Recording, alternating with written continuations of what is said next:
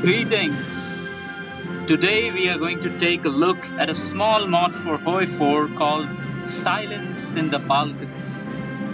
So of course the mod is about the Balkans and what it does is that it gives content for Balkan nations like Croatia or Bosnia Herzegovina because as you can see here Yugoslavia does not exist in the mod and instead we got this greater Serbia here and a small Bosnia Herzegovina, Croatia and Slovenia.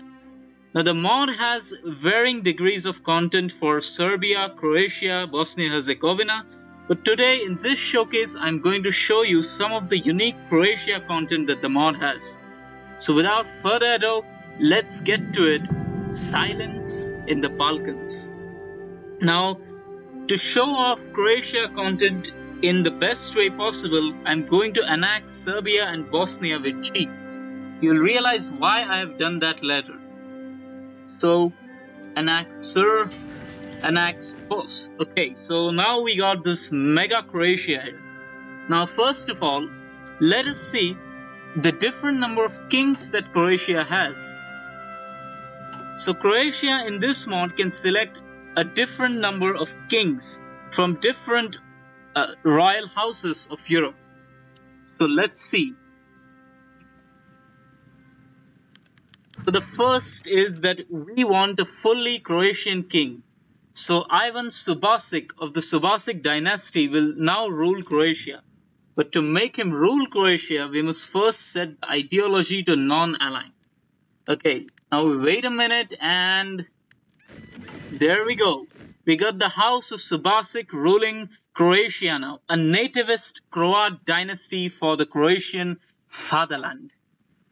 Now, let's see another king. So, second king is that a Serbian king of the Karađorđević family, basically the family that ruled Yugoslavia IRL. Now, these people will take over.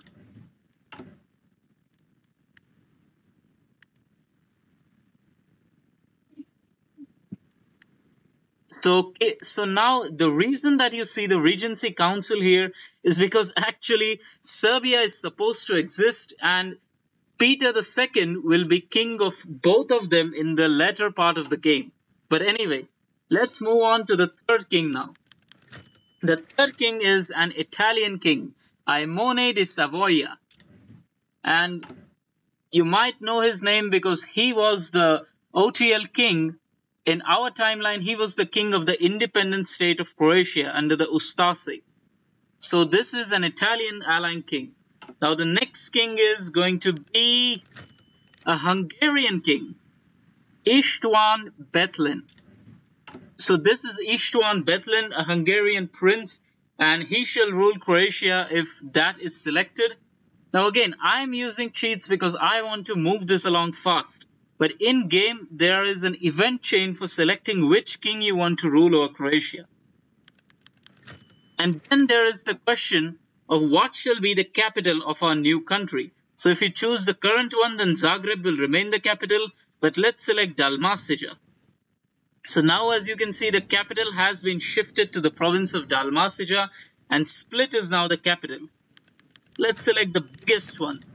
now Serb nationalists beware. Belgrade is now the capital of the Kingdom of Croatia. and lastly, we got... Wait, I forgot. Of course, a member of the family of von Habsburg can also be the king of Croatia.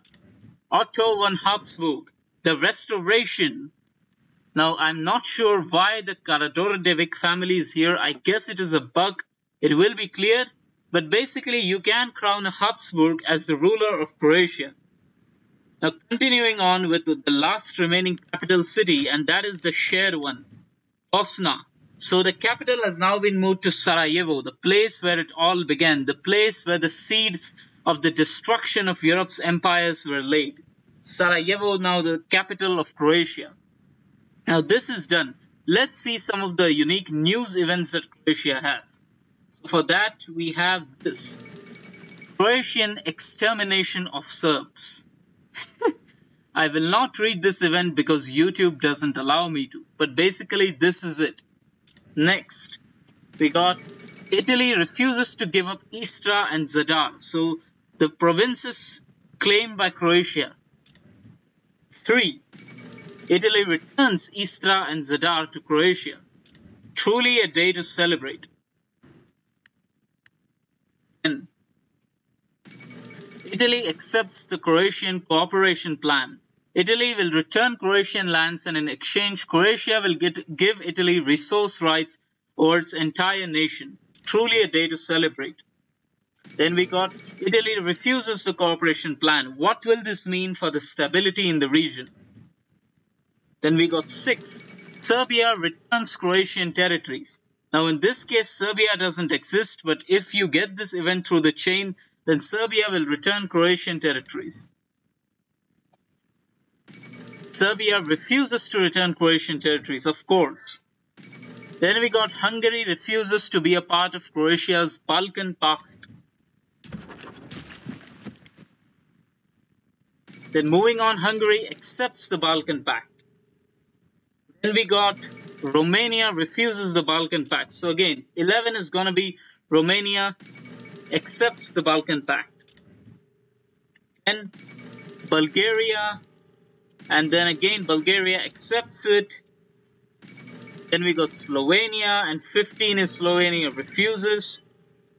16 is the Karađorđević family reunited. Serbian emperor has accepted the pact with his son and promised to give his son Croatian lands as a gift. Truly a beautiful sight.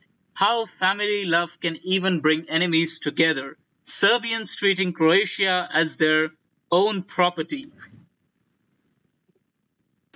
Then we got the Karađorđević family torn apart. Serbian emperor refused the alliance with his son, calling him a traitor of the country and forbidding his return to Serbia. The tensions in the region are now greater than ever, and many wonder what will be the final blow. Truly a sad sight. So this is it, and there are some more things in this mod that I haven't shown to you. Feel free to experience them on your own there are various uh, numerous additions to the focus tree.